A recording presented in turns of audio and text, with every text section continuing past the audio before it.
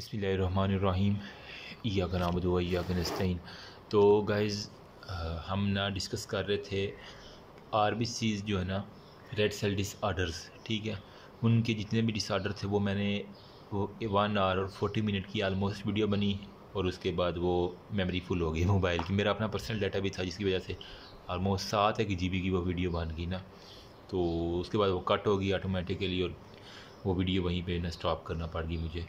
तो अभी जो है ना वो हम लास्ट टॉपिक कर रहे थे glucose six phosphate dehydrogenase deficiency अभी आलमोस्ट सेकंड रमज़ान है happy Ramzan to all of you तो आपको शायद ये पीछे आवाज़ें भी आ रही होंगी, चिड़ियों की सुबह सुबह का वक्त है आफ्टर शहरी।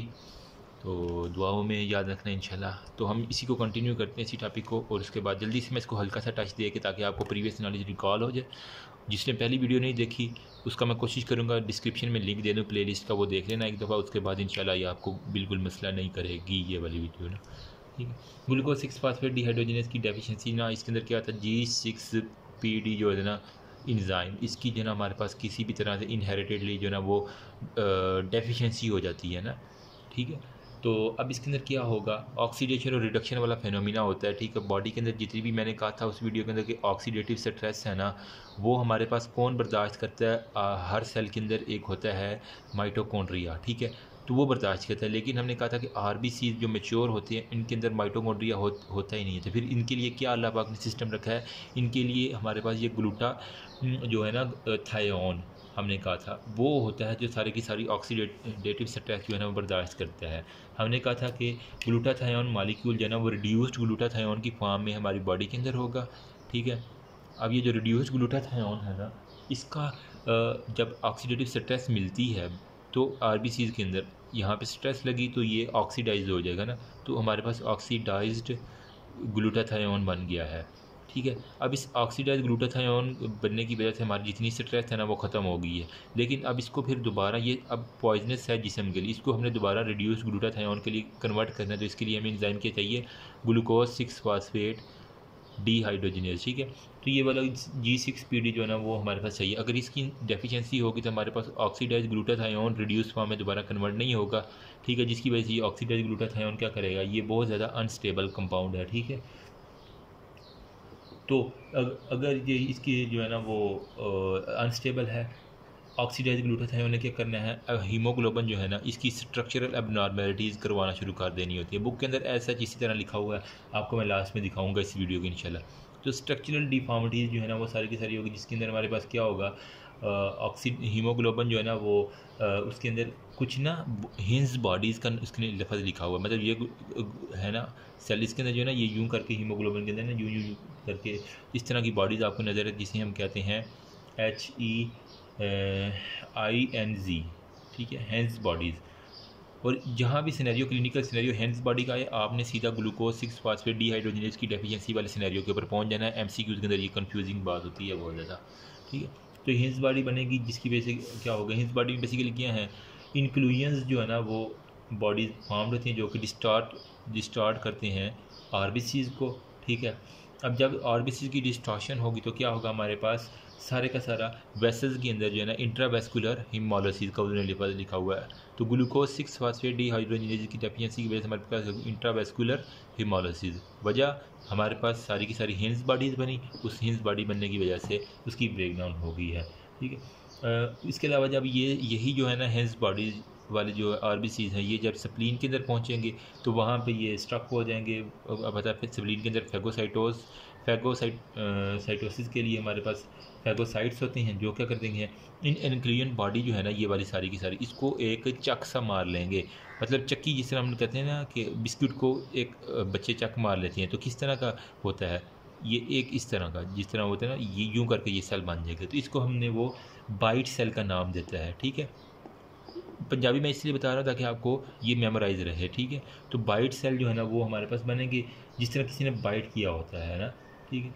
वो इस तरह इसको स्प्लीन के फेगोसाइट्स इसको खा लेंगे तो जहाँ भी बाइट सेल का लफज आए हिंस बॉडी का लफज आए, ठीक है, आपने इसके ऊपर आ जाना है। तो बाइट सेल जो है ना, अब ये बन गए हैं तो ये फिर दोबारा जो है ना, वो फेगोसाइट्स को खुद ही जो है ना, वो स्प्लीन जो है ना, वो खुद ही खा लेगी और इसको एक्स्ट्रा वेस्कुलर हिमोलिसिस के अंदर जो है ना, हम इसको कैटेगराइज करेंगे। अब क्वेश्चन ये था कि ग्लूकोज सिक्स फास्फेट की डेफिशिएंसी हुई क्यों है? इस एंजाइम की जो है ना, क्यों डेफिशिएंसी हुई है? तो इस एंजाइम की डेफिशिएंसी एक तो हमारे पास इनहेरिटेड होती है, ठीक है? ए पेरेंट्स से जो है ना, वो वो कुछ लोगों में फैमिली में से जीन जो इनकोड करता है, उसके अंदर म्यूटेशन आ जाती है ना? जो gene glucose six phosphate dehydrogenase को इनकोड कर रहा है उस वो म्यूटेटेड फॉर्म के अंदर आ जाता है, ठीक है? या तो बिल्कुल ही नहीं बनता, या बनता है तो ख़राब बनेगा। फिर क्या होगा? ख़राब बनेगा, इसके अंदर आधा जो है ना, वो ठीक होगा।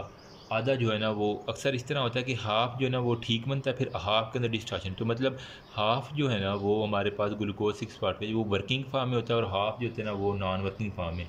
तो इसकी फिर हिमोलिसिस होती है, ठीक है। अगर तो बिल्कुल ही नहीं बना तो वो सवेयर हिमोलिसिस की कैटेगराइज के अंदर आएगा ठीक है। अगर तो हाफ़ वो वर्क कर रहा है तो वो पार्शल हिमोलिसिस के अंदर आएगा मतलब जितना उसका पार्ट ख़राब है, वो हिमोलाइज हो जाएगा, बाकी जो है ना वो हमारे पास चलता रहेगा, काम थोड़ा बहुत चलाता रहेगा। तो ये एक उसके अंदर उसने बात लिखी हुई है। फिर उसने कहा है कि पैथोजेनेसिस के अंदर हम थोड़ी सी बात डिस्कस कर लेना।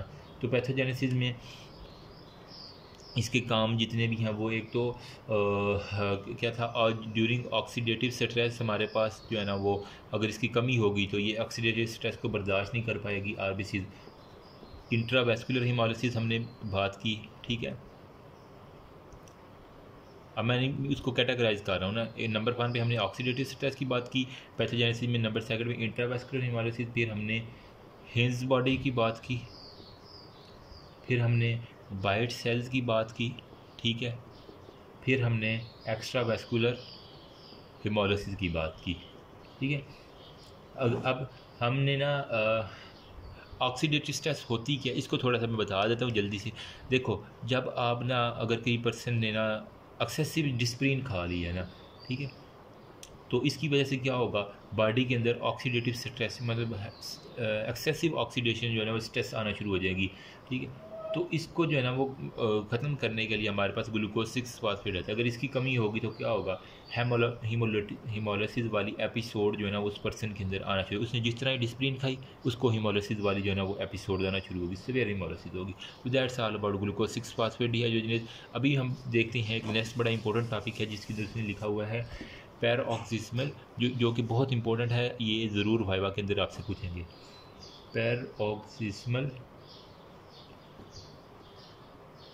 ऑक्सीजमल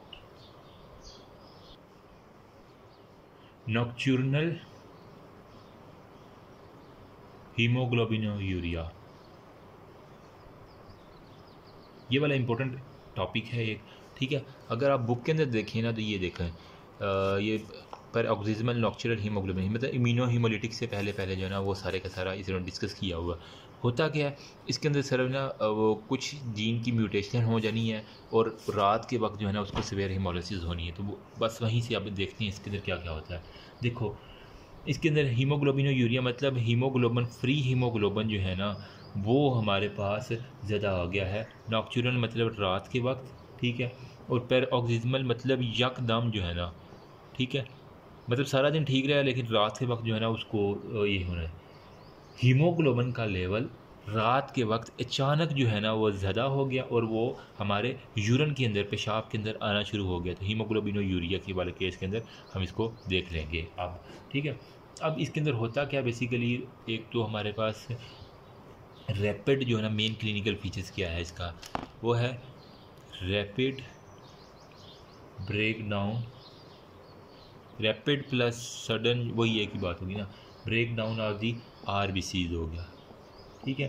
अब हमें पता है, वो कह रहा है बुक के अंदर उसने लिखा कि हमारे पास जो है ना वो पता है कि मीमरीन क्या होती है? लिपट बाई लेयर होती है ना? ठीक है? यूँ यूँ करके। उनके दरमियान क्या होता है? एक वो एक उनके दरमियान एक प्रोटीन भी जनाब यहाँ पे लगी होती है, ठीक है? फिर हमारे पास दोबारा लिपट बाई लेयर सारे की सारी आ जाती है। ऐसा ही स्ट्रक्चर होता है ना, आपने बायोकेम के अंदर पढ़ा हुआ ये अगर मैं आपसा बना रहा हूँ। अच्छा अब जो प्रोटीन जो है ना, वो कुछ लिपट के साथ लगी होती है, कुछ जो है ना, वो जिसे हम कहते हैं ग्लाइको। अब अगर तो हमारे पास ग्लूकोज जो है ना, वो मतलब प्रोटीन वाले के साथ लगा होता है इसे कहेंगे ग्लाइको प्रोटीन, ठीक है? अगर वो लिपट वाले के साथ चेन लगी होती है तो इसे कहते हैं ग्लाइको लिपड यही कहानी थी ना, ठीक है? अब क्या है हमारे पास? G P I anchor protein. ठीक है, वो जो है यहाँ पे लगी हुई होगी। मैं अभी बुक में दिखा देता हूँ। नाम सिर्फ़ अभी देख लो, उसने क्या हुआ है?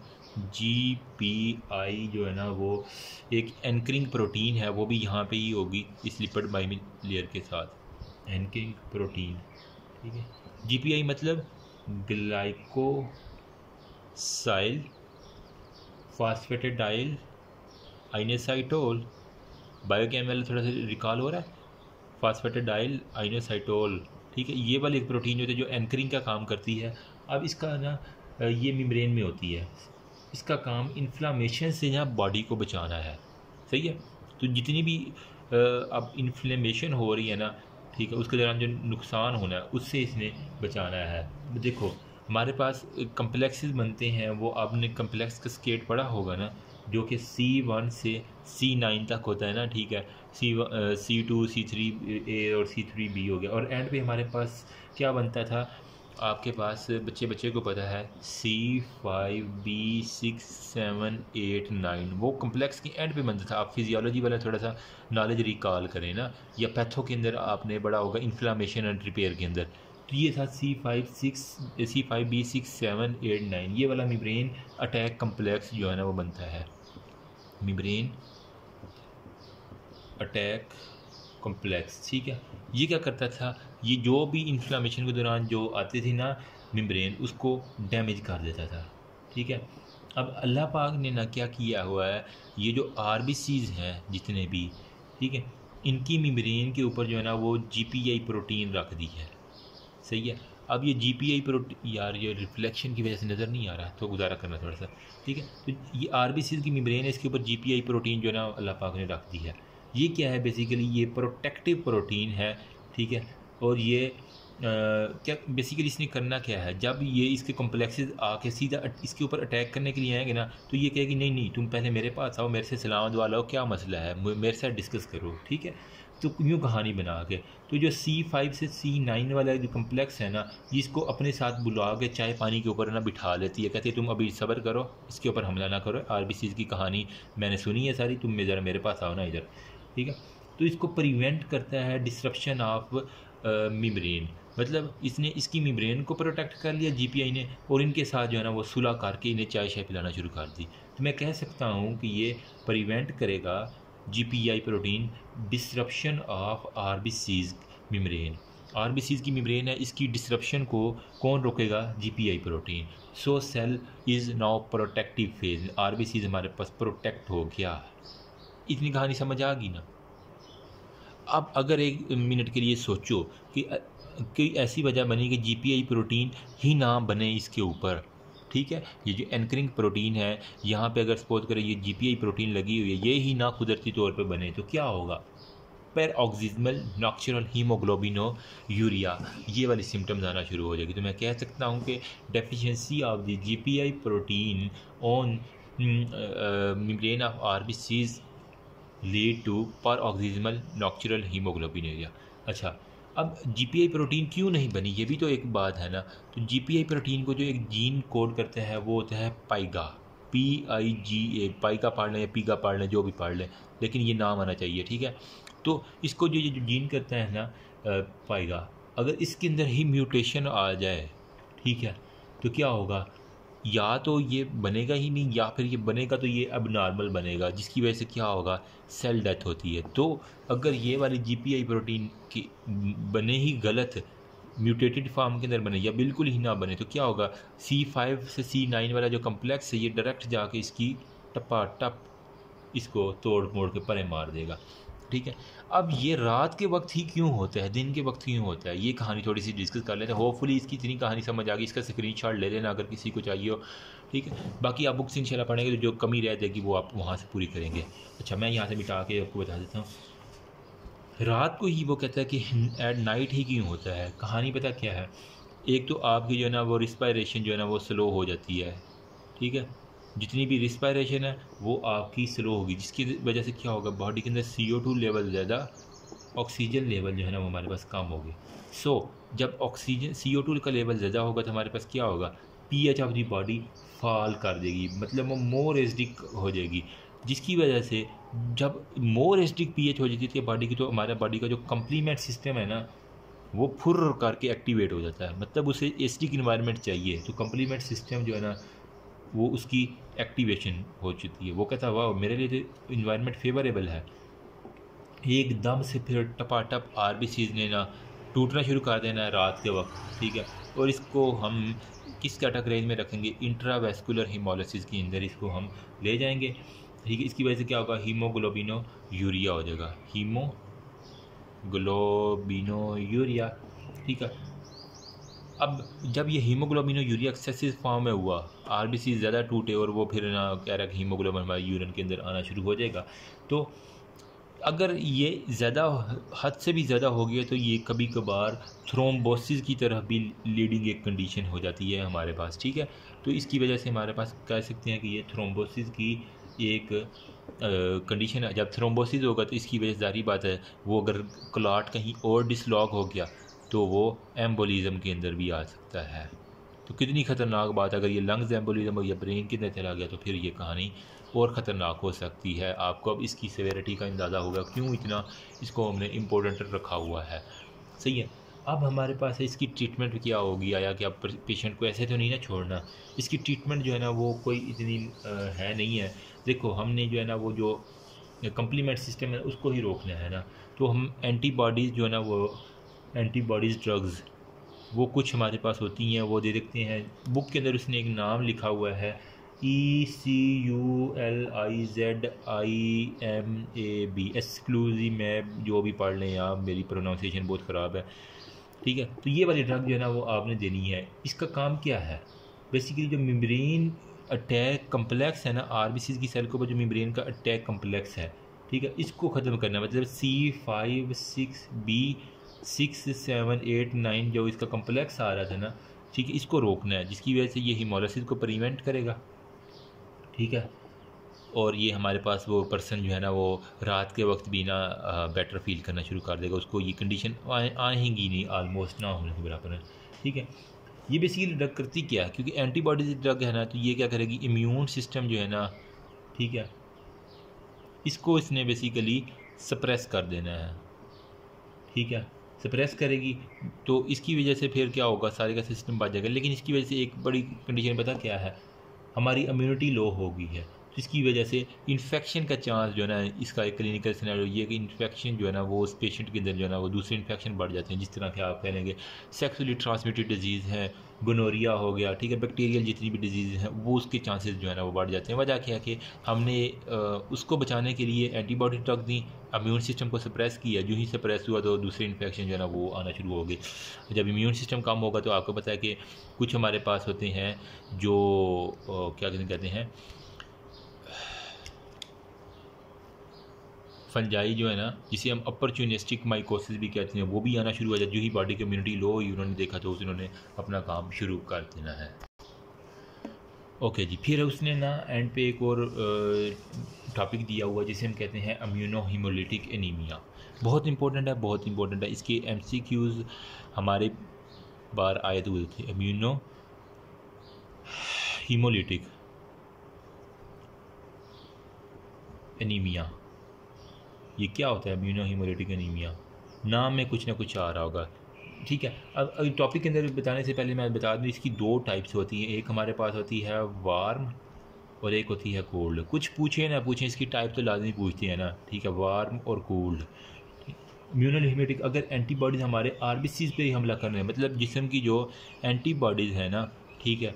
वो हमारे आर बी सीज के ऊपर ही हमला करना शुरू कर दें।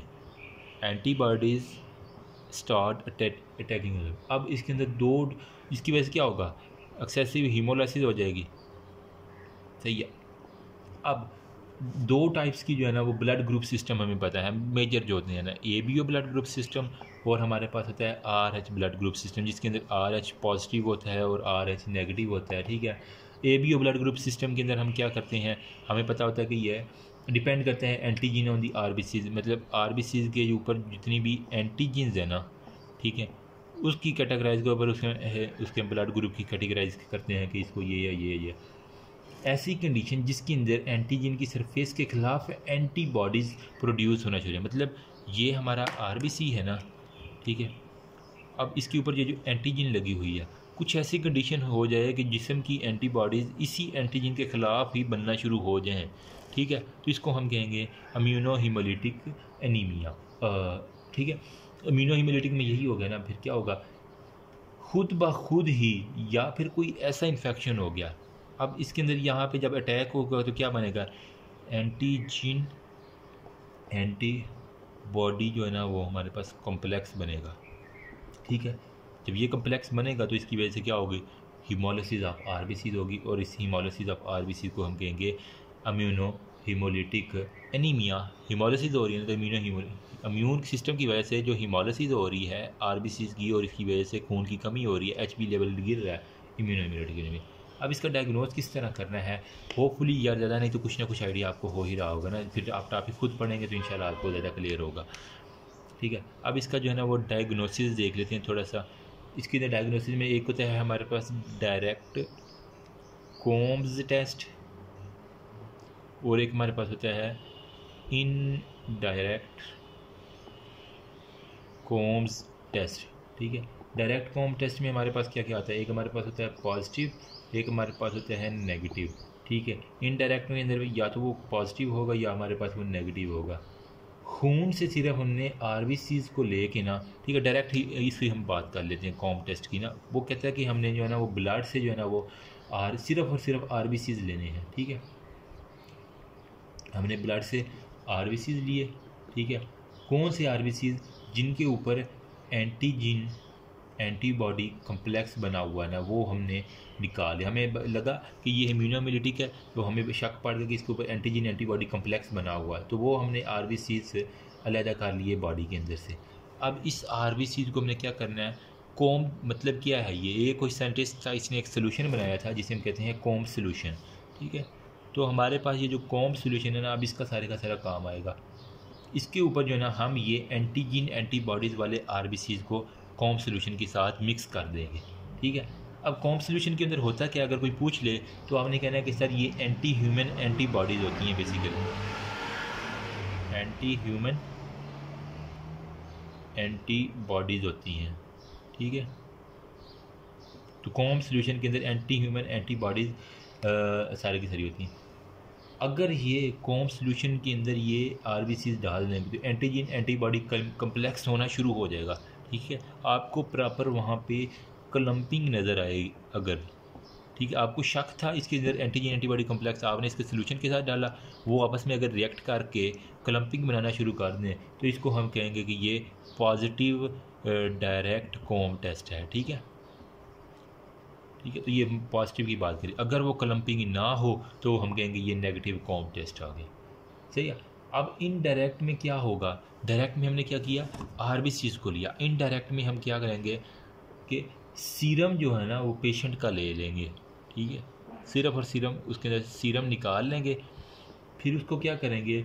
उसको आर उसके अंदर से आर और दूसरे सेल को अलग अलग कर लिया ना। ठीक है?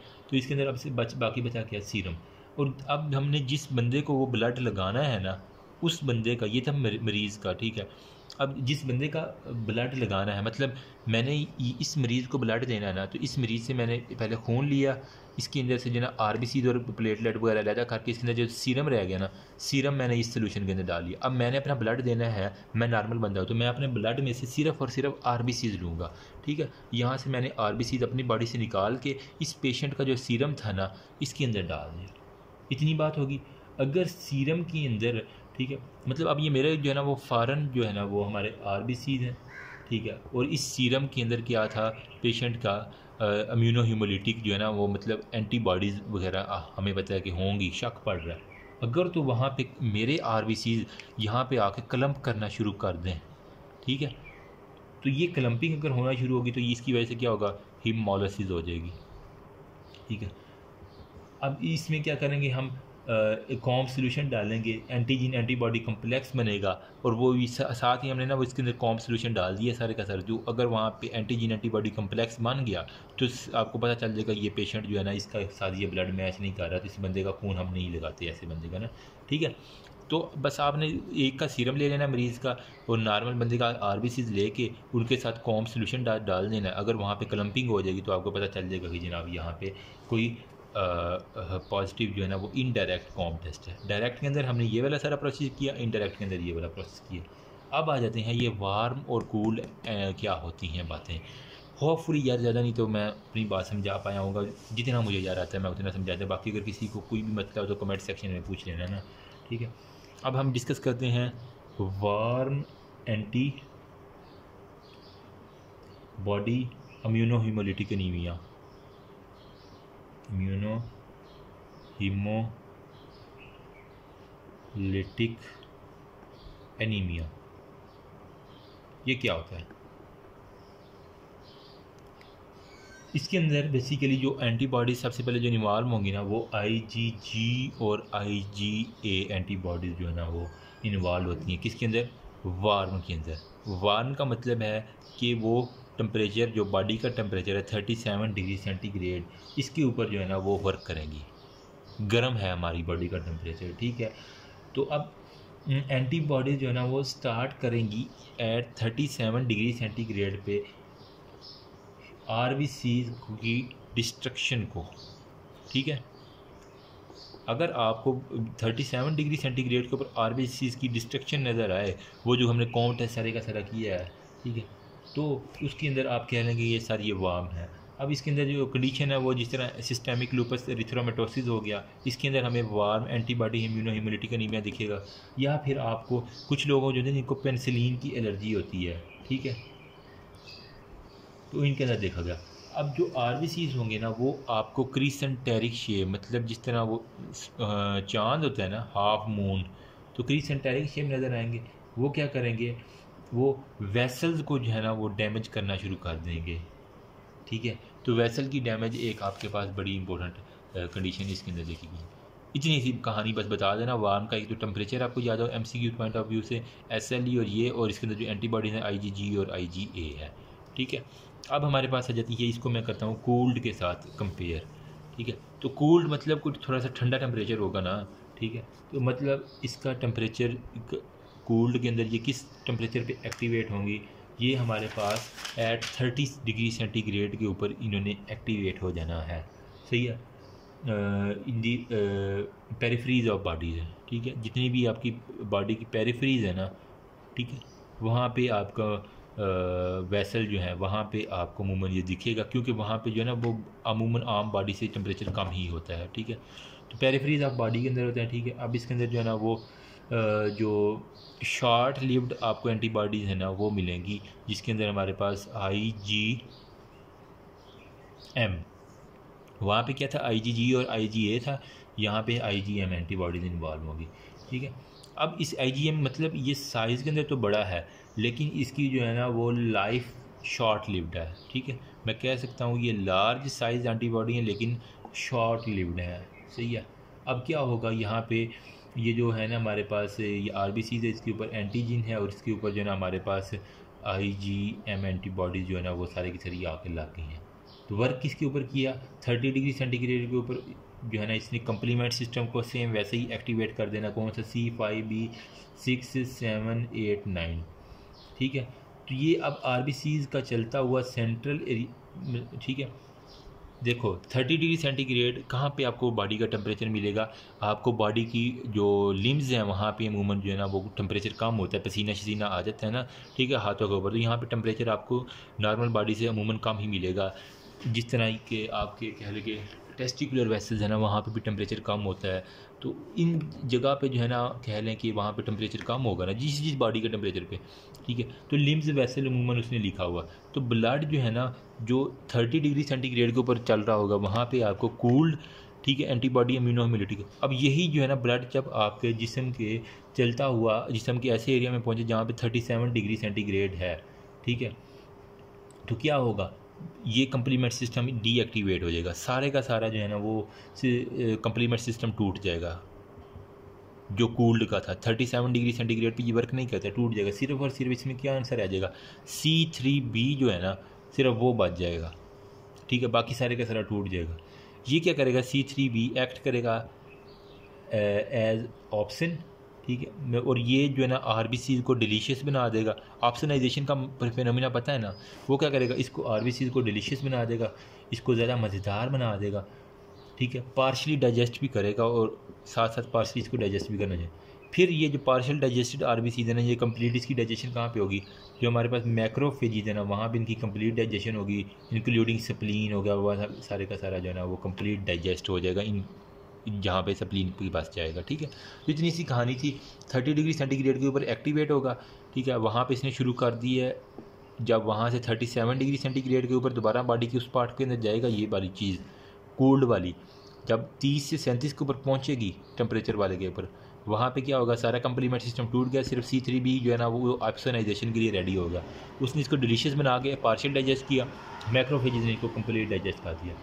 अब वहाँ पे कह सकता हूँ कि हीमोलिसिस शुरू कहाँ पे हुई? पेरीफ्रल ऑफ़ द बॉडी जहाँ पे 30 डिग्री सेंटीग्रेड का टेम्परेचर था।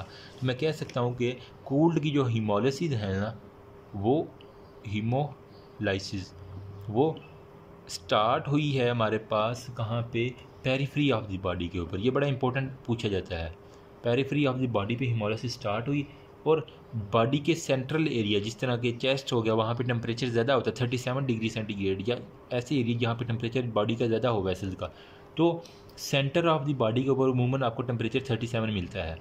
सेंटर ऑफ़ बॉडी के ऊपर आके इसकी कंप्लीट हिमोलिसिस हो जाएगी। और ऐसी हिमोलिसिस मतलब स्प्लीन के अंदर जाके spleen almost centre of the body के अंदर आती है तो स्प्लीन के अंदर इसको मैं कह सकता हूँ कि एक्स्ट्रा वेस्कुलर हमारे पास हिमोलिसिस होना शुरू हो गई है। तो इन शॉर्ट केस मैं कहूँगा अगर हम वार्म की बात करेंगे तो वो इंट्रावेस्कुलर हिमोलिसिस सारी की सारी हुई थी। ठीक है? अगर हम कूल्ड की बात करेंगे कूल्ड अम्यूनो हिमोलिटिक की तो वो क्या होगी? वो एक्स्ट्रा वेस्कुलर हिमोलिसिस होगी। तो ये एक एम सी क्यू जाता है कि वार्म के अंदर हमारे पास इंट्रावेस्कुलर होती है कूल्ड के अंदर हमने अभी प्रूव किया। जब वो सेंटर ऑफ़ द बॉडी में जाएगा तो स्प्लीन तोड़ेगा वेसल से बाहर आ गया ना वो अब तो extravascular haemolysis in case of cold होगा। ठीक है? होपफुली ये कंसेप्ट समझ आ गए लो टेम्परेचर पे क्या होगा? आरबीसी की स्पीड फिर हमारे पास क्या होगी? स्लो डाउन होगी। तो कोल्ड के फिनोमिना के अंदर आपको एक पता होगा फेनोमिना आपने फिजियो के अंदर पढ़ा होगा रेनाइड फेनोमिना।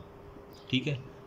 तो जहाँ पे ब्लड वेसल टेम्परेचर स्लो कम होगा लो टेम्परेचर टेम्परेचर की कमी होने की वजह से आर जो है ना वो, उसका फ़्लो जो है ना वो भी स्लो डाउन हो जाएगा। आर फ्लो स्लो डाउन हो गया जिसकी वजह से वो नक्रोसिस वगैरह वो सारी की सारी आपको दिखेंगी। तो इसे हम कहते हैं कि ये रेनाइट फेनोमिना है। फिर एक छोटा सा टॉपिक साथ इसने लिखा हुआ है कि haemolysis of R B Cs due to external trauma ठीक है? एक्सटर्नल ट्रोमा की वजह से कब कब हमारे पास हीमोलिसिस होगी आर बी सीज की? Haemolysis of R B Cs due to external trauma मतलब अब बाहर से कोई ऐसी चीज़ आई है जो बॉडी के अंदर आर बी सीज को डिस्ट्रॉय कर सकती है। कोई थोड़ा सा आइडिया लगाओ हाँ क्या चीज़ आ सकती है? देखो कार्डिक पेशेंट जो है ना, जिनकी क्रोनरी वैसे ब्लॉकेज होती है, जिस तरह भी है ना, दिल के बाल बंद तो हमने क्या किया?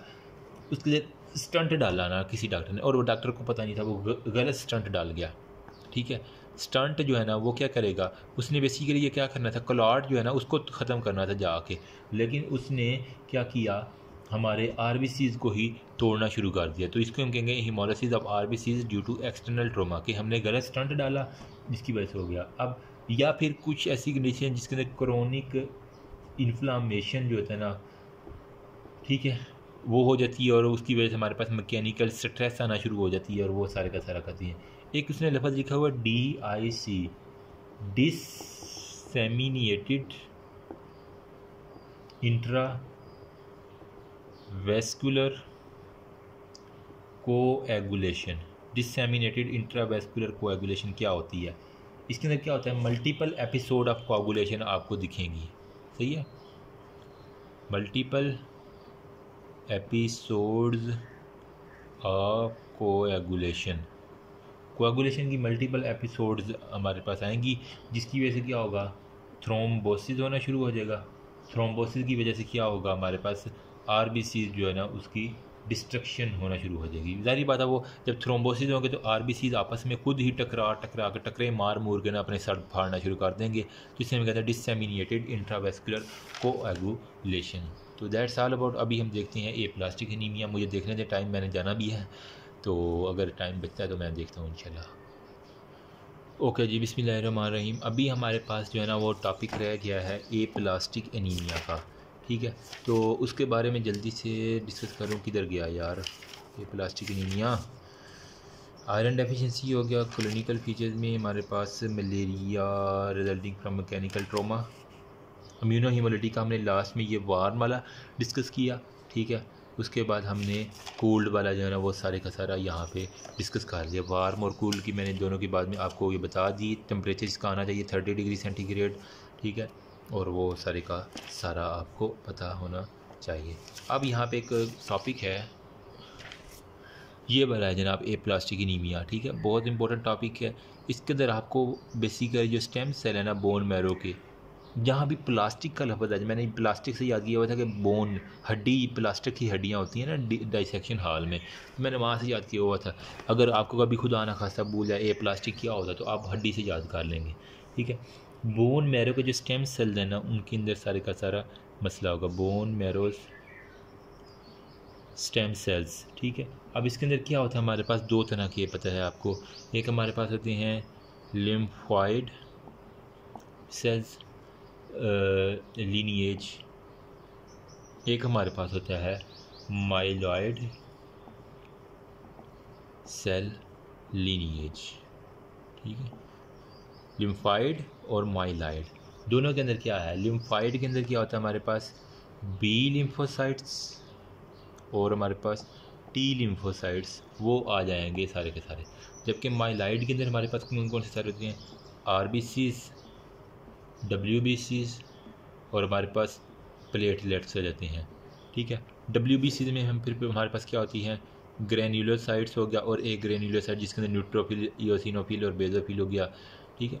वो सारे के सारे इसके अंदर आ जाते ये एक था छोटा सा आइडिया आपके पास।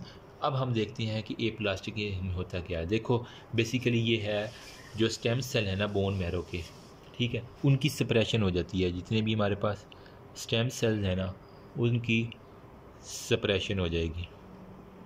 सप्रेस हो जाएँगे थोड़े से, कम हो जाएँगे, ठीक है? स्टेम सेल कहीं पे लिखा हो या कहीं पे अगर लिखा हो ना माइलाइड सेल ठीक है? हमने क्या कहा? माइलाइट सेल मैंने इस साइड पर लिखे थे, उसके अंदर R B C W B C platelet से ठीक है? उनकी सप्रेशन की वजह से क्या होगा सारे का सारा? हमारे पास एनीमिया होगा, ठीक है? क्या होगा? आर बी सीज कम होगा तो अनीमिया होगा। अगर डब्ल्यू बी सीज कम होंगे तो हमारे पास क्या होगा? लो इम्यूनिटी होगी। अगर हमारे पास प्लेटलेट्स कम होंगे तो क्या होगा? ब्लीडिंग होगी, ठीक है? उसको छठा सा काट लग गया और वो हीमोपीलिया की तरह जिस तरह कंडीशन है। तो ये सारे की सारी condition lead to aplastic anaemia ठीक है? अब उसने एक लफ्ज़ लिखा है पेन साइटोपिनिया वो क्या होता है? जहाँ भी पेन का लफ्ज़ आ जाए ना, ठीक है? वो एक पॉलिटिकल पार्टी थे वो कहते हैं पेन दी सीरी यार वही याद कर लेना। मतलब वो सब कोई रगड़ देता था पकड़ के ना? ठीक है? तो पेन साइटोपीनिया में क्या होगा? पैन साइटो साइटोपीनिया के अंदर क्या होगा? उसके अंदर ये होगा कि अगर किसी भी शख्स में R B Cs W B Cs और प्लेट है मतलब तीनों सेल ही जो है ना, सारी चीज़ें मिल गई हैं, उनकी कमी होगी है तो उसकी मतलब पीनिया मतलब उसकी डेफिशिएंसी होगी आर बी सीज की भी डब्ल्यू बी सीज की और प्लेटलेट्स की भी। इसे हम कहेंगे पेन साइटोपिनिया ठीक है? तो पेन साइटोपिनिया कहाँ पे होगा? ए प्लास्टिक एनीमिया की बेनिशानी है तो एम सी क्यूज़ का ये एक पॉइंट आपके पास क्लियर होगी।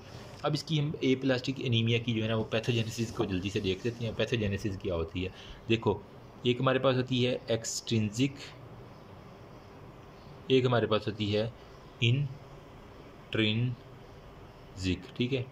एक्सट्रिंजिक में क्या होता है? बाहर से कोई भी जो है ना, वो स्टेम सेल को जो है ना बाहर से कोई भी चीज़ आके ना स्टेम सेल को तब्दील कर दे। ठीक है? आउटसाइड किसी चीज़ आई, उसने स्टेम सेल के अंदर तब्दीली की, जिसकी वजह से क्या होगा हमारे पास? जो हमारे टी सेल है ना, वो क्या होंगे? एक्टिवेट हो जाएँगे। उन्होंने क्या करना है? इन्फ्लामेटरी मीडिएटर्स की स्टार्ट करवा देना। स्टार्ट करेंगे। इन्फ्लामेटरी मीडिएटर्स ठीक है? जिसकी वजह से हमारे जिसके अंदर कौन कौन सी आ जाते हैं? ट्यूमर नेक्रोटिक फैक्टर्स आ जाते हैं और हमारे पास इंटरफेरोन जो गेमा है ना, वो सारे का सारा आ जाएगा। और ये मिल के क्या करेंगे? एक्सटेंजिक फैक्टर के तौर पे एक्ट करेंगे और हमारे पास ए प्लास्टिक नीमिया हो जाएगा। सही है? अब इसका, अगर हम इसको ट्रीट करना चाहें ना तो इसका हाल बिल्कुल सिंपल है। टी सेल की तब्दीली को रोकना मतलब ये जो टी सेल की एक्टिवेशन है ना, किसी तरीके हमने इस टी सेल की एक्टिवेशन को रोकना है। तो हम क्या करेंगे? सिंपल अम्यूनो सप्रेसेंट ड्रग्स दे देंगे। ठीक है? अम्यूनो सप्रेसेंट ड्रग्स हमने दे दी तो ऐसी ड्रग्स क्या करेंगी? प्रिवेंट करेंगी बोन मैरो की डिस्ट्रक्शन को, ठीक है? डिस्ट्रक्शन ऑफ़ बोन मैरो को होने से रोक देंगी। तो हमारे पास ये, अगर एक्सटेंजिक फैक्टर की वजह से ये प्लास्टिक एनीमिया तो वो बहुत जल्द जो है ना, वो ठीक हो सकता है। थोड़ी सी ये है कि इम्यून सिस्टम कम करेंगे तो दूसरे इन्फेक्शन हो सकते हैं, लेकिन वो इससे कम ही नुकसानदेह होंगे, ज़्यादा नहीं होंगे इन ठीक है? तो हमने क्या किया? स्टेम सेल की जो तबाही है ना जो एक्सटेंजिक फैक्टर की वजह से आ रही थी, उसको हमने ख़त्म कर दिया। अब हमारे पास रह गया इंट्रेंसिक इंट्रेंसिक में बेसिकली क्या होता है, वो हम जो डिस्कस कर लेते हैं, ये थोड़ा सा टिपिकल कुछ लोगों में ना टीलोमरेज एंजाइम नहीं होता जीनेटिकली उसने लिखा हुआ है टीलोमरेज एंजाइम ठीक है, आप अगर जेनेटिक्स वाला चैप्टर याद करें उसके टीलो में मर्ज थे ना ठीक है टीलोमरेज वो कह रहा है कि जेनेटिकली हमारे पास एबसेंट है। तो क्या होगा? देखो, ये क्रोमोसोम है ना। ठीक है? तो सेंट्रोमेर हो गया। यहाँ पे जो है ना, वो आपको पता है कि टीलोमरेज एंजाइम सपोज़ करें होते हैं ना। तो क्या होगा? अगर ये टीलोमरेज एंजाइम ही नहीं होगा तो हमारे पास wearing and tearing of chromosome बहुत ज़्यादा हो जाएगी। क्योंकि टीलोमरेज ने बचाना था वेरिंग एंड टेयरिंग से। अगर यही नहीं होगा तो wear and tear of the chromosome बहुत ज़्यादा होगा, जिसकी वजह से जो सेल है ना, वो टाइम से पहले ही टू ओल्ड हो जाएँगे। टाइम से पहले बुढ़ापे की तरफ़ चल पड़ेंगे, जिसकी वजह से उनकी प्रोटेक्शन जो है ना वो ख़त्म हो जाएगी और वो जल्दी जो है ना वो डिस्ट्रॉय करें तो इन सिंपल वर्ड टीलोमरेज का काम क्या था? सेल की हिफाजत करना। जब यही नहीं होंगे हिफाजत वाले तो सेल जो है ना वो जल्दी टूट जाएँगे। अब इसके अंदर क्लिनिकल मैनिफेस्टेशन की अगर हम बात करें इंट्रेंसिक वाले की, जो आपको एक वो पेलर नज़र आएगा पेशेंट उसको फटीग होगी टायर्डनेस होगी, थकावट हर वक्त रखेगी और उसके बाद उसको स्वेटिंग बहुत ज़्यादा होती है ना, ठीक है? और आपको पूरे जिस उसको जो ना, पूरे जिसम के ऊपर हमारे पास नील पड़े हुए नज़र आएँगे, ठीक है? पिटिकिए जो है ना, वो हल्के की वजह क्या है? समाल समाल हेमर प्लेटलेट की भी कमी हुई है ना, ठीक है? तो समाल हेमरेजेज हो जाएँगी, समाल वेसल की हेमरेजेज हो जाएँगी, जिसकी वजह से क्या होगी? प्लेटलेट की कमी थी और इसकी वजह से हमारे पास इन्फेक्शन के चांसेस भी जो है डब्ल्यू बी से भी काम हुए तो इन्फेक्शन के चांसेस भी हमारे पास बहुत ज़्यादा बढ़ जाएँगे that's all about aplastic anaemia अभी उसने एंड पे एक लिखा हुआ है माइलो पेथेसिक एनीमिया। ये वाला टॉपिक है हमारे पास मायलो पिथेसिक्स एनीमिया, जो भी है आप उसको प्रोनाउंस कर लेना। इसके अंदर बेसिकली होता क्या, इतनी बड़ी कहानी के अंदर मैं अगर आपको सिंपल वर्ड में बताऊँ तो पहले मैं हेडिंग दे लेता हूँ ताकि कन्फ्यूज़न ना रहे। M Y E L O P H T H I S I C ठीक है? माइलोपैथेसिक एनीमिया इसके अंदर क्या होता है बेसिकली अगर ट्यूमर सेल जो है ना इनफिल्ट्रेट कर जाए इनटू दी बोन मैरो ये हमारे पास थी जनाब, सारी की सारी बोन मैरो ठीक है? अब अगर बाहर से कोई ट्यूमर किसी को कैंसर हो गया ना, ठीक है? तो वो ट्यूमर सेल इस बोन मैरो के अंदर जाकर ना इनफिल्ट्रेट कर जाए, ठीक है? तो in simple word infiltrate of tumour cell in bone marrow अब बोन मैरो अंदर फिल्ट्रेट कर गया तो इसकी क्या होगा? अब वहाँ पे जाके इसने ट्यूमर मास की ग्रोथ करवा देनी जहाँ पे हमारे पास बहुत से ट्यूमर्स के मासेस जो है ना, वो ग्रो करना शुरू कर देंगे बोन के अंदर। मास जो है ना, वो ग्रो करना शुरू कर देंगे।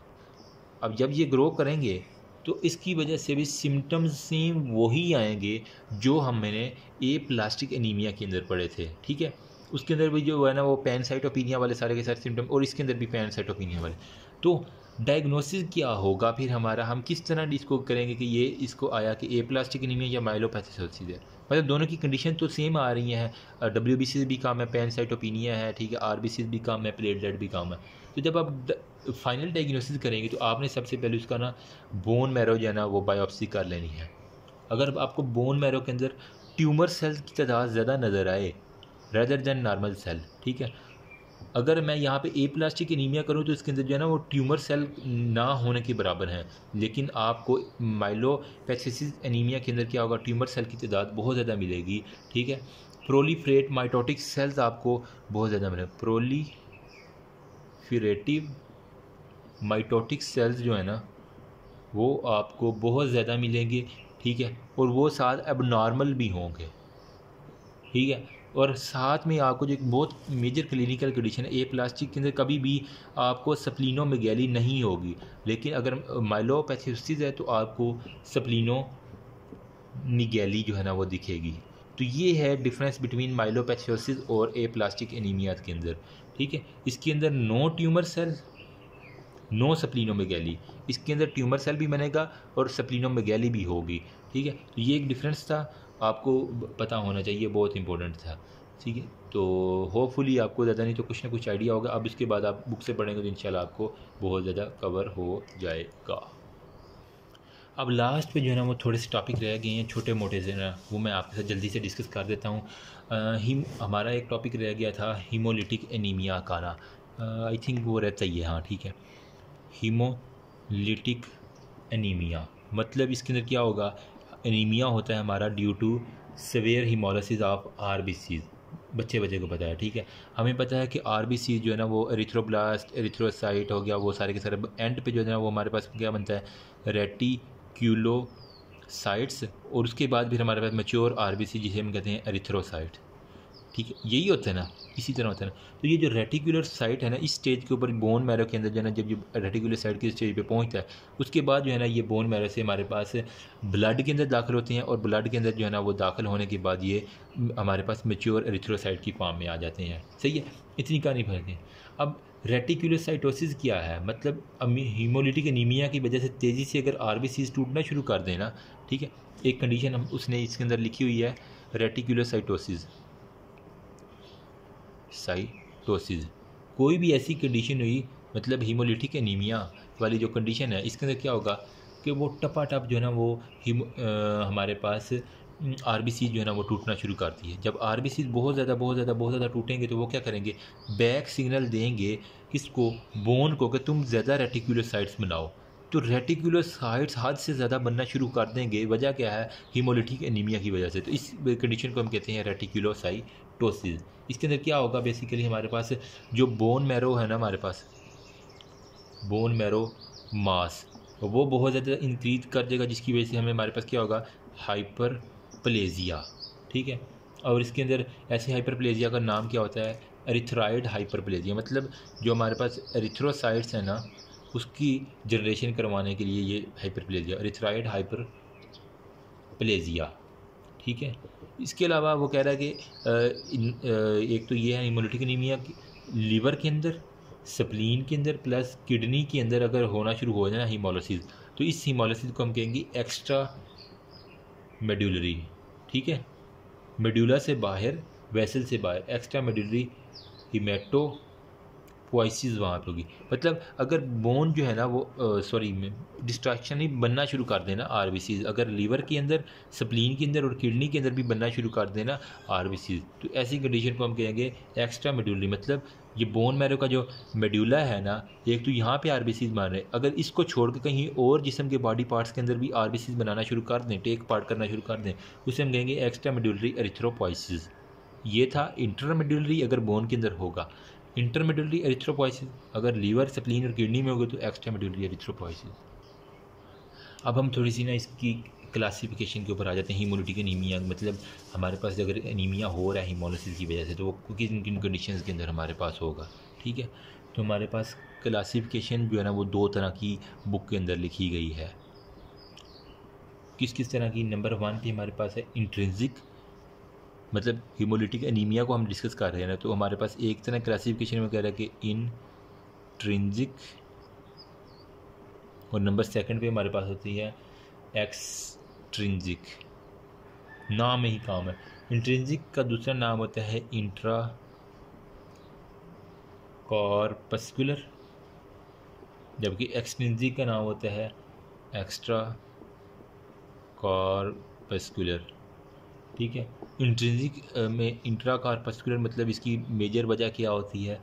ग्लूकोज सिक्स फॉस्फेट डीहाइड्रोजिनेज की डेफिशिएंसी जबकि एक्स्ट्रा कार्पस्कुलर के अंदर क्या होता है? कोई भी हमारी बॉडी के अंदर वेसल जो है ना, इसका इश्यूज़ आ जाता है। ठीक है? एक ये क्लासिफिकेशन होगी। नंबर सेकंड पे वो कह रहा है कि हमारे पास एक और क्लासिफिकेशन होती है हीमोलिटिक नीमिया की, वो होता है इंट्रा वेस्कुलर अगर हमारी वेसल के अंदर हीमोलिसिस हो रही है या फिर हमारा एक्स्ट्रा वेस्कुलर होती है ठीक है? इंट्रा वेस्कुलर में हमारे पास क्या आती है? बेसिकली uh, कंडीशन जो होती हैं उसकी वजह से हमारे पास हीमो ग्लोबिनो यूरिया हीमोग्लो ग्लोबी हीमोग्लोबिनीमिया हो जाएगा। नीमिया यूरिया था ये ग्लोबिनीमिया हो गया फिर क्या होगा? Haemosiderinuria haemosiderinuria और हमारे पास क्या होगी? लॉस ऑफ़ आयरन देखी गई है। ठीक है, आगे हम डिस्कस करते हैं। जबकि एक्स्ट्रा वेस्कुलर के अंदर क्या होगा हमारे पास? तीन मेन जो है ना, वो कंडीशन है जिसके अंदर आपको एक्स्ट्रा वेस्कुलर हीमोलिसिस आप कंफर्म कर सकते हैं। एक तो हमारे पास हाइपर बिलोरिबिनीमिया होगा। मतलब बिलोरिबन का लेवल बहुत ज़्यादा अगर आपको नज़र आए ना तो हाइपर बिलोरिबिनीमिया उसके बाद हमारे पास गाल स्टोन्स होंगे, फिर हमारे पास क्या होगा? सप्लिनोमगैली होगी। ठीक है? सप्लिनोमगैली होगी। सप्लिनोमगैली क्यों होगी? हमारे पास जो सप्लिन का रेड पल्प है ना, ठीक है? उसके अंदर हमारे पास क्या होगा? जो थिन कार्ड्स होते हैं, उसके अंदर जाके आर जो है ना, वो बाइकन के जो आर है ना, वो स्टक हो जाएँगे। ठीक है? देखो बेसिकली होता पता क्या अगर RBC की मिब्रेन बेसिकली होती तो फ्लेक्सिबल है। ये देखो फ्लेक्सिकल की मिब्रेन होती है बाइकन के होते हैं फेंटा टॉफ़ी की तरह होते हैं, दरमियान से पिछके हुए साइड से बड़े, ठीक है? जो ये फ्लेक्सिबल होती है मतलब वैसल के अंदर अगर बड़ी वैसल है ना, छोटी वैसल तो ये थोड़ा सा पिचक के गुजर सकती हैं। लेकिन कुछ ऐसी कंडीशन होती है, जिसके अंदर आरबीसी जो है ना, वो फ्लेक्सिबल की जगह रिजिड हो जाते हैं। तो हमारे पास जो इसकी एक तो मिब्रेन जो है ना, वो थिक हो जाएगी नंबर सेकंड पे ये हमारे पास बाइकन के भी ना रहे। ठीक ना तो बाइकन केव रहे और ना ही फ्लेक्सिबल रहे, बल्कि ये थिक हो जाए और बिल्कुल जैसे गोल जो है ना वो हमारे पास रह जाए। इसकी वजह से क्या होगा? वेसल के अंदर जब ये रेड पुल्प के अंदर से गुजरेंगे थिन कार्ड के अंदर से, यहाँ पे क्या होगा? ये फोल्ड नहीं हो पाएँगे। जब फोल्ड नहीं होंगे तो वहाँ पे गुजरेंगे नहीं तो स्टक कर देंगे in spleen cord of discipline के अंदर स्टक कर देंगे और वहाँ पे जो मैक्रोफेजिज हैं, उन्हें मौका मिल जाएगा। वो इसके ऊपर अटैक करना टपा टप इसके ऊपर हमले शुरू कर देंगे, तीर चलाने शुरू कर देंगे वो वो मैक्रोफेजिज इसको मार देंगे। ठीक है? तो इसकी वजह से क्या होगा? Excessive destruction of the R हुई। ठीक है? अब जब आर टूटेंगे, इसके अंदर से क्या निकलेगा? एक तो हमारे पास हीम निकलेगा, ठीक है? एक हमारे पास निकलेगा ग्लोबिलन जब ये जो हीम है ना, ये क्या करेगा? ये बिलो रिबन के अंदर कन्वर्ट होगा। ठीक है? हीम हमारे पास बिलो रिबन के अंदर कन्वर्ट हुआ। अब जब ये बिलो रिबन एक्सेस में जाएगा बॉडी के अंदर हाथ से ज़्यादा होगा तो ये हमारे पास क्या करेगा? ये लीवर के पास जाके वहाँ पे गाल स्टोन्स बनाना शुरू कर देगा। ठीक है? एक बात ये होगी। फिर बिलो रिबन ज़्यादा है तो ये ब्लड के अंदर जब रहेगा तो इसकी वजह से क्या होगा? Hyperbilirubinuria hyper below रिबिनो hyperbilirubinuria हो जाएगा ना? ठीक है, एक गाल स्टोन बना दिया और बिलो रिबन का लेवल ब्लड के अंदर ज़्यादा हो गया। तो ये हमारे पास कंडीशन होगी एक्स्ट्रा वेस्कुलर हीमोलिसिस के अंदर सारे का सारा। अब हम आ जाते हैं थोड़ा सा इंट्रा वेस्कुलर जो है ना हीमोलिसिस इसको डिस्कस करते हैं, इसके अंदर क्या क्या हो सकता है। ये मैं सारा रेज कर रहा हूँ होपफुली आपको एक्स्ट्रा की जो है ना वो समझ आ गई होगी ना। हाइपर बिलोरेमिनिया गाल स्टोन सप्लिनोमेगैली ये तीन कंडीशन होगी एक्स्ट्रा वेस्कुलर के अंदर। अब देखो इंट्रा वेस्कुलर के अंदर क्या होगा? कुछ भी नहीं होना सिंपल है, बिल्कुल। इंट्रा वेस्कुलर के अंदर क्या होगा? हद से ज़्यादा जो है ना वो एक तो हीमोग्लोबन बनेगा, क्योंकि टूट रहा है तो हीमोग्लोबन जो है ना वो आपके पास ज़्यादा हो जाएगा। तो इसे हम कहेंगे हीमोग्लोबिनीमिया हीमोग्लोबिनीमिया हो गया। हद से ज़्यादा हमारे पास हीमोग्लोबन होगा। फिर क्या होगा? यूरिन के अंदर हीमोग्लोबन है, जिसे हम कहेंगे हीमोग्लोबिनो यूरिया ये नीमिया था, अगर हीमोग्लोबन ज़्यादा है यूरिया मतलब यूरिन के अंदर आना शुरू हो गया। ठीक है? अब ये जब यूरिन में आएगा तो कुछ जो है ना वो हमारा रिनल टिब्यूल से बाहर निकलता है। ये हमारा ये है ना रिनल टिब्यूल ठीक है?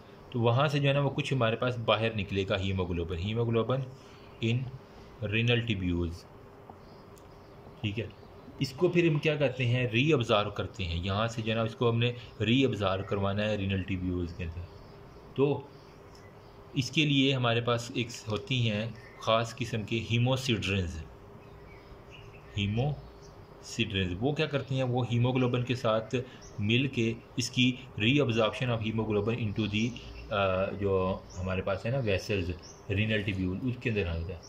तो अब हीमोग्लोबिन और हीमोसिड्रिन जो है ना, वो मिल गए हैं। तो इसकी वजह से ये, क्या करेंगे? वहाँ पे अगर टूट जाएँगे तो इसकी टूटने की वजह से हमारे पास यूरन के अंदर इसकी कुछ ना कुछ क्वांटिटी आना शुरू हो जाएगी। ठीक है? तो यहाँ पे कलेक्टिंग टिब्यूल के अंदर यूरिन के अंदर हीमोग्लोबिन और हीमोसिडिन टूटे हैं ना, इसकी वजह से हम क्या, हमारे पास क्या होगा? यूरिन के अंदर कराएँगे तो हीमो सिड्रेनो यूरिया मतलब आपका हीमोसिड्रिन जो है ना, वो यूरिन के अंदर आना शुरू होगा हीमोग्लोबिन अबदार की हीमोसिड्रिन जो दोबारा टूट के यूरिन के अंदर आ गया हीमोसिड्रिनो यूरिया हो गया। अब हमारे पास आती हैं एक हेरिडिटरी सफीरोसाइटोसिस के बारे में। ये सारी की सारी क्लासिफिकेशन थी हीमोलिटिक एनीमिया की।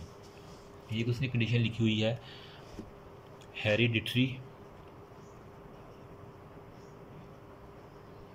सफीरोसाइटोसिस ये क्या होती है? मतलब सफीरोसाइट्स जो है ना मतलब गोल गोल जो हमारे पास आर बी सीज है, इनका लेवल बॉडी के अंदर ज़्यादा हो जाता है। मतलब बाई कनकेव जो होता है ना आर वो सफ़ेयर शेप के अंदर आना शुरू कर देते हैं। मतलब अमूमन क्या होता है, इस तरह के आर होंगे ना आपको, अगर साइड से देखें, अंदर से पिचके हुए, बाहर से ये बाइकन किए हो गया, ठीक है, यूँ करके। लेकिन ये अगर बिल्कुल आपको साइड से भी यूँ गोल गोल नज़र आए तो इसमें कहेंगे सफ़ेयर की तरह है तो सफ़ेयर से वजह क्या है इसकी? डिफॉर्मिटी होगी है इन मेम्ब्रेन मेम्ब्रेन के अंदर डिफॉर्मिटीज हो गया सो ऑक्सीजन कैरिंग कैपेसिटी जो है ना वो हमारे पास कम हो गई है। सही है? Dark red colour in the centre. जो आर बी सीज है उनके सेंटर के अंदर हमारे पास क्या होगा? डार्क रेड कलर होगा ठीक है? अमूमन क्या होता है? पेल होता है दरमियान से लेकिन इसके अंदर सारे का सारा हीमोग्लोबिन सेंटर के अंदर आ जाएगा जिसे हम डार्क सेंटर में कहेंगे। सो so, हमें स्प्लिनो में गैली दिखेगी एक ठीक है? बोन मैरो हमारे पास हाइपर प्लेजिया आएगा। बोन मैरो को हाइपर प्लेजिया होगा, जिसकी वजह से लीवर के अंदर हमारे पास मोर बिल्ली रूबिन आपको दिखेगा। ठीक है? जब हीमोग्लोबिन मतलब बिलोरिबिन का लेवल ज़्यादा होगा तो जहरी बात हमारे पास गाल, वो जब लीवर के अंदर जाएगा तो वहाँ पे गाल स्टोन भी हमने पहले देखा है अभी। वो वहाँ पे बनना शुरू हो जाएँगे। और अगर गाल स्टोन लीवर के अंदर बनना शुरू हो जाती इस कंडीशन को हम क्या कहते हैं? आपने एबडोमन पेल्वस के अंदर पढ़ा कोली लेथियसिस हो गया ना, ठीक है?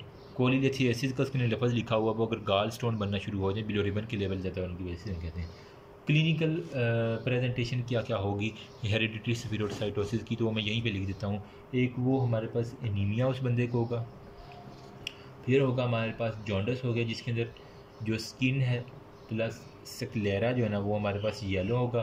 फिर क्या होगा, हमारे पास एबडोमिनल जो पेन है ना, वो होना चाहिए पेट के अंदर बहुत दर्द होगी। वजह क्या है? वही जो कोलिलेथियसिस मतलब जो गाल स्टोन्स बने थे ना, उनकी वजह से उसको पेट के अंदर दर्द होगी। उससे खून की उल्टियाँ भी कभी कभी देखी गई है ना। ठीक अगर हम इसका हल क्या है, अब गाल स्टोन की वजह से डोमिनल पेन है, इसको रोकना क्या है? सप्लिनों में गैली हो चुकी है। ठीक है? तो एक तो हम गाल स्टोन को रिमूवल करवा देंगे नंबर सेकंड पे जो जॉन्डस हुआ स्क्लेरा वगैरह वो ज़्यादा हुआ है। अगर हम किसी तरीके सप्लिन को रिमूव कर दें, ठीक है तो हमारे पास ये सिम्टम्स जो है ना वो कम हो जाएँगे। वजह क्या है? इसकी वजह से हमारे पास जो सफीरोसाइट्स हैं, उसकी टूटना कम हो जाएगा ना, ठीक है। तो पैरवो वायरस हमारे पास जो था ना, उसकी ये कंडीशन लिखी हुई है सर ने हेरेडिटी स्पीरोसाइटोसिस और एक हमारे पास पैरवो वायरस की बड़ा इंपॉर्टेंट एफ़ सी था मुझे याद आ गया अभी। तो हमने जो अभी ए प्लास्टिक एनीमिया पढ़ा था ना तो पैरवो वायरस नाइनटीन जो है ना वो हमारे पास क्या करवाता है? ए प्लास्टिक एनीमिया करवा देता है। अगर क्लिनिकल सिनेरियो के अंदर पी वाला पैरवो वायरस आ जाए तो आपने पी प्लास्टिक के अंदर आता है ना तो, तो इनको कोरिलेट करके ए प्लास्टिक एनीमिया का वो सिनेरियो होगा। ठीक है? अगर हमारे पास सप्लीनेक्टमी करके ठीक हो रहा बंदा तो हेरिडिटी स्पीरोसाइटोसिस का के, केस है ठीक है? इसके अंदर क्या होगा? हेरिडिटी स्पीरोसाइटोसिस का ऐसा तो कोई इलाज नहीं है। हम क्या करेंगे? अगर बच्ची हैं ना, चिल्ड्रन तो उनके अंदर हम पार्शल जो है ना, वो सप्लीनेक्टमी कर देंगे। सप्लीन जो है ना, वो पूरी रिमूव नहीं करेगी, आधे करेंगे, क्योंकि बच्चों के अंदर ऑलरेडी इम्यूनिटी कम है। अगर पूरी रिमूव कर दी, सारी इम्यूनिटी तो ख़त्म हो जाएगी। इसलिए हमने बच्चों के अंदर पार्शियल करते हैं, जबकि अडल्ट के अंदर हमने टोटल सप्लीनेक्टमी करके ना, इस कंडीशन को टोटल स्प्लीनेक्टमी करके इस कंडीशन को हमने ख़त्म कर देना होता है। ठीक है? अब हमारे पास आ जाती हैं सिकल सेल एनीमिया। यार, मैं लेट हो रहा हूँ, मुझे लेट ना हो जाए, सिकल सेल एनीमिया, कोई बात नहीं, अल्लाह खैर करेगा। इसके जल्दी से बता देता हूँ, ठीक है? सिकल सेल मतलब दातरी की तरह जो है ना, वो हमारे जो हीमोग्लोबन हो जाते हैं। अगर कोई ऐसी डिसऑर्डर है, जिसके अंदर हीमोग्लोबन का स्ट्रक्चर तब्दील हो जाए, ठीक है? और उसकी जो है ना, वो ऑक्सीजन कैरिंग कैपेसिटी जो है ना, वो बहुत कम हो जाए तो इसे हम कहेंगे ये हमारे पास सिकल सेल एनीमिया है, ठीक है? अब ये सिकल सेल एनीमिया लिखा था कहीं पे हीमोग्लोबिनो। पैथीज मतलब हीमोग्लोबिन के अंदर कोई मसला आ गया ना, ठीक है, उसका स्ट्रक्चर जो है ना वो चेंज हो गया है, ठीक है। हमें पता है हीमोग्लोबिन के अंदर क्या होता है? हीम होती है, एक एक हमारे पास होता है ग्लोबिन। ग्लोबिन के अंदर क्या होता है? दो अल्फ़ा चेन होती हैं, दो बीटा जो जल्दी से मैं कर रहा हूँ, ठीक है। अब जो, दो अल्फ़ा चेन हर अल्फ़ा चेन में one forty one amino acid beta chain में one forty six amino acid होती हैं, ठीक है। तो अल्फ़ा चेन की, के लिए हमारे पास चार जीन चाहिए इसकी इनकोडिंग के लिए बीटा चेन के लिए हमारे पास एक जीन चाहिए इसकी इनकोडिंग के लिए, ठीक है। अब हर चेन जो है ना, ये एक स्कोर ये अल्फ़ा ये दो अल्फ़ा की चेन है, ठीक, और दो बीटा की चेन है। हर एक के अंदर क्या होता है हमारे पास? आयरन होता है, ठीक है? एफ़ ई प्लस टू की फॉर्म में, जो कि ऑक्सीजन कैरी करता है, ठीक है? सिकल सेल के अंदर क्या होता है? हमने ये जो बीटा चेन है ना, इसके अंदर सारे का सारा मसला है। इसकी बीटा चेन के one two three four five और सिक्स सिक्स पोजीशन के ऊपर जो है ना, वो ग्लूटामिक एसिड की जगह हमारे पास क्या लग जाता है? वेलिन लग जाता है। ये आपने एफएससी से पढ़ते आ रहे हैं, जल्दी जल्दी मैं गुजार रहा हूँ, ठीक है? तो यहाँ पे जब गली ये लग जाएगा तो कुछ होते हैं बाड हमारे पास जो इंटरचेंज बाड होते हैं, ठीक है? और कुछ होते हैं इंट्राचेन बाड ठीक है? मतलब दो चेन के दरमियान जो होते हैं ना, वो इंटरचेन बाड होते हैं। अगर वो चेन अपने साथ ही बॉन्डिंग बनाना शुरू कर दे, उसे कहते हैं इंट्राचेन बॉन्डिंग ठीक है? अगर बॉन्डिंग के अंदर फिर ग्लूटामिक एसिड की जब वेलिन लग जाएगा तो बॉन्डिंग जो है ना वो अब नॉर्मल होना शुरू हो जाएगी। इंट्रा चेन और इंटर चेन बॉन्डिंग जो है ना वो अब नॉर्मल होना शुरू हो जाएगी। जिसकी वजह से क्या होगी? ऑक्सीजन कैरिंग कैपेसिटी कम हो जाएगी या डिस्टर्ब हो जाएगी और हमारे पास वो सिकल चेप की तरह आ जाएँगी। देखो, अब हम इसको डिस्कस करते हैं ग्लूटामिक एसिड लग गया वेलिन की जगह, ठीक है? तो ग्लूटामिक एसिड की सॉरी वेलिन आ गया, ठीक है? वेलिन बड़ा ना बेगैरत आदमी है। इसने क्या करना है?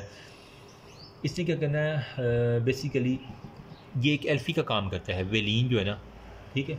एल्फ़ी की तरह है। ये हीमोग्लोबन बी के अंदर जो है ना एच बी बी जीन होता है जो, इसके अंदर जब म्यूटेशन होती है ना तो इसकी वजह से क्या होता है ग्लूटामिक एसिड की जगह एक तो वेलिन लगा। अब ये वेलिन जो है ना हर जगह जो एल्फ़ी की तरह जाकर जुड़ेगा। जहाँ पे लगेगा, वहाँ पे चिपक जाएगा चिपक जाएगा चिपक जाएगा चिपक जाएगा। तो इसकी वजह से क्या होगा? अब नॉर्मल हमारे पास हीमोग्लोबिन के अंदर बॉन्डिंग होगी तो जब वो चिपकना शुरू कर देगा तो वो बिल्कुल हीमोग्लोबिन या पहले जो गोल था, वो इसकी अब नॉर्मल बॉन्डिंग की वजह से सिकल सेल की तरह जो है ना, वो इस तरह दातरी की तरह एक वो बन जाएगा हीमोग्लोबिन ठीक है? तो इसकी हम क्या करें? रेपिटेटिव एडहीजन जो है ना, इसकी बड़ी प्रॉपर्टी है। रेपिटेटिव एडहीजन करवाएगा ये।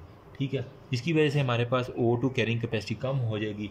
असल में लगता है कि आर बी सी जो है ना, वो ऑक्सीजन से जो है भरा हुआ है नॉर्मल हालात में ऑक्सीजन से भरा हुआ है। लेकिन जब ही जिसम के अंदर बॉडी में ऑक्सीजन की कमी होती है तो ये अपनी रेपिटेटिव एडिजन कर लेता है। जिसकी वजह से क्या होता है? डी ऑक्सीजन सुकड़ जाता है आर बी सी देख तो हमारे पास सुकड़ जाता है, और वो वेलिन जो है ना, वो जगह जगह जाकर चिपकना शुरू कर देगा। फिर क्या होगा? वो सिकल शेप्ड मेम्ब्रेन जो है ना, वो बनाने जो कि ट्रॉमा करती है आर को भी एज सच ठीक है? ये बेसिकली एक रिवर्सिबल प्रोसेस है। जब जिसम के अंदर कमी होगी तो ये सिकल सेल बनेगा ऑक्सीजन की कमी होगी। जब हम उसको वेंटिलेटर के ऊपर ऑक्सीजन दोबारा देंगे या ऑक्सीजन बहाल करेंगे तो वो अगेन आर बी सी अपने बाइकन के शेप में आना शुरू हो जाएगा। ठीक है? तो ये रिपेटिव है। लेकिन अगर ये पता क्या? जब ऑक्सीजन हम देते हैं तो वेलिन जो है ना, वो अपने दोबारा ये सारी इंटरचेन बॉन्डिंग है ना, ये तोड़ना शुरू कर देता है, जिसकी वजह से आर बी सी वो फिर गुब्बारे की तरह फूल जाता है। सही है। तो ये सारे का सारा काम होता है हमारे पास। वो valine breaks, art all its, bonding on oxygen supply. लेकिन जब ऑक्सीजन की कमी होगी तो ये दोबारा अपनी वही बॉन्डिंग की सूरत में आके सिकल सेल इसको बना देगा। ठीक? होपफुली यार मैं अपनी बात में समझा पाया हूँ, कोशिश कर रहा हूँ। ड्यूरिंग सिकल सेल जो है ना, वो अब एक दफ़ा हुआ, दो दफ़ा हुआ, तीन दफ़ा हुआ बार बार वो ना ब्रेन को ट्रॉमा होगा। ठीक है? अब ब्रेन को ट्रॉमा होगा तो इसकी वजह से ना, हमारे पास जो ये सपोज़ करें सिकल सेल है ना ठीक है सिकल सेल इसके रफ आइडिया तो इसकी वजह से क्या होगा, जो हमारे पास कैल्शियम है ना, वो कहता है वो अंदर आना शुरू हो जाएगा सेल के अंदर।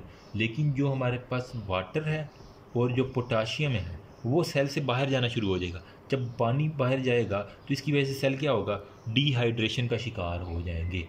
ठीक है? तो अगर ये प्रोलॉन्ग्ड हो जाए तो डीहाइड्रेटेड डी ऑक्सीजन एक तो हमारे पास ऑक्सीजन निकली थी ना इसके अंदर से तो सिकल सेल बना था। तो मैं ऐसे सेल को कह सकता हूँ कि ये डीहाइड्रेटेड प्लस डी ऑक्सीजनेटेड जो है ना, वो सेल हमारे पास आ जाएँगे।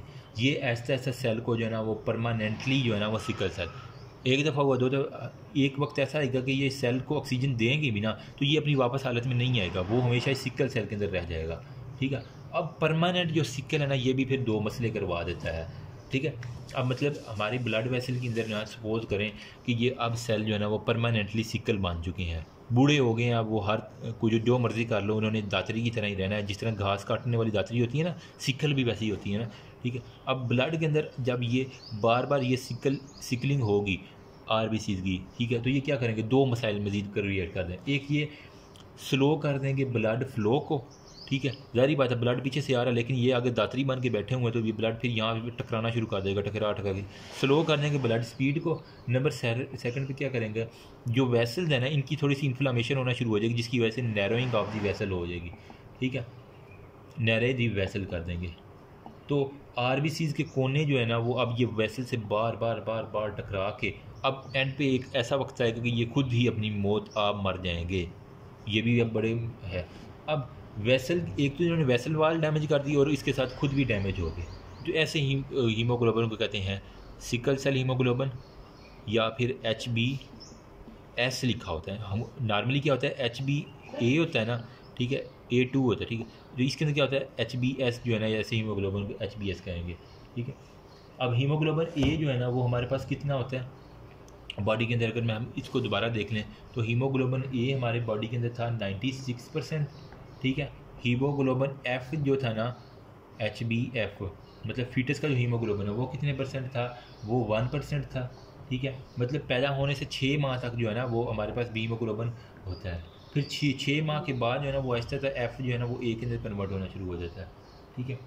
अब फिर ए की कंसनट्रेशन ज़्यादा और एफ़ की कंसनट्रेशन बच्चे के अंदर कम होना शुरू हो जाती है। तो हीमोग्लोबिन ए टू जो है ना, वो जस्ट थ्री परसेंट होता है। ठीक है? ए वाला ज़्यादा है ए वन और ए टू जो है ना, वो तीन परसेंट छियानवे और तीन निन्यानवे और एक हंड्रेड परसेंट हमारे पास हीमोग्लोबिन बॉडी की कंप्लीट होगी। ठीक है? अब हीमोग्लोबिन ए के अंदर क्या होता है? हमारे पास इसके अंदर होती हैं दो अल्फ़ा और दो बीटा चेन हीमोग्लोबिन एफ़ के अंदर क्या होता है? दो अल्फ़ा चेन होती हैं और दो हमारे पास गैमा चेन होती हैं। ठीक है? गैमा को ये इस तरह लिखते हैं ना। अल्फ़ा टू और गैमा टू और जबकि हीमोग्लोबिन ए टू के अंदर क्या होती हैं? दो हमारे पास अल्फ़ा चेन होती हैं और दो हमारे पास क्या होती हैं? डेल्टा चेन होती हैं, ठीक है? तो दो डेल्टा और दो अल्फ़ा चेन ए टू के अंदर, दो अल्फ़ा दो गैमा एफ़ के अंदर और दो अल्फ़ा दो बीटा हीमोग्लोबिन ए के अंदर होंगे। फिर लास्ट पे थोड़ी सी बातें रह गई हैं वो जल्दी से यार डिस्कस कर लेती हैं टाइम बहुत हो गया एक तो। हमें पता है कि अब हीमोग्लोबिन जो है ना सिकल सेल के अंदर क्या होती है? सिर्फ़ बीटा हीमोग्लोबिन तब्दील होती हैं। तो हीमोग्लोबिन ए के अंदर क्या थी? दो अल्फ़ा चेन थी, दो बीटा चेन थी। तो इसका मतलब है, ना तो ये सिकल सेल हीमोग्लोबिन एफ़ के अंदर होगा, ना हीमोग्लोबिन ए टू के अंदर क्योंकि इसके अंदर दोनों डेल्टा चेन है और इसके अंदर दोनों गैमा चेन है। बीटा तो है नहीं। तो बीटा किसके अंदर है? हीमोग्लोबिन ए के अंदर है। तो सिकल सेल का शिकार कौन होगा? सिर्फ़ वो बंदा जिसके अंदर हीमोग्लोबिन ए है। फीटस को भी नहीं होगा और डेल्टा वाले को भी नहीं होगा। तो जो इंसान, जब बच्चा होता है ना एच बी एफ़ जिसके अंदर होता है तो उसके अंदर क्या होता है, दो अल्फ़ा और दो गैमा होती हैं। ठीक, उस वक्त उसको ही सिकल सेल नहीं हो सकता, लेकिन छः माह बाद जब वो H B F H B A के अंदर कन्वर्ट होना शुरू होता है ना तो बीटा हीमोग्लोबिन चेंज के अंदर तब्दील होती है तो इसकी वजह से उसको सिकलिंग शुरू हो जाती है। जीनेटिक म्यूटेशन की बात कर लेते हैं तो जीनेटिक म्यूटेशन अगर हेट्रोजाइगस होगी ना, ठीक है, इसके अंदर क्या होगा, एक अलील जो है ना, वो हमारे पास म्यूटेटेड होगा जबकि एक अलील जो है ना वो नॉर्मल होगा। तो आधा हीमोग्लोबन जो है ना किस तरह का बनेगा?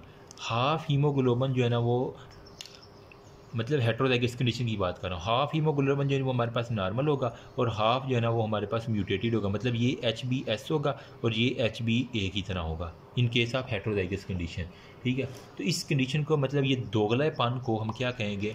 इसको हम कहेंगे सिकल सेल ट्रेट कहेंगे। ठीक है? सिकल सेल इसको हमने ट्रेट कह दिया। ऐसे मरीज़ आम तौर पे दिखते तो नॉर्मल है।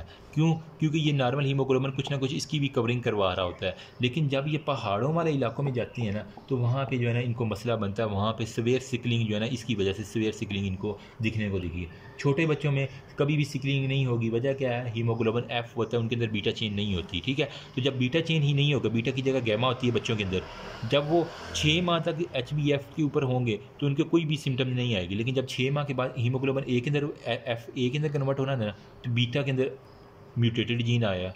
तो वो फिर छः माह के बाद उन्हें ना, जो वो एपिसोड आना शुरू होती थी सिकलिंग की।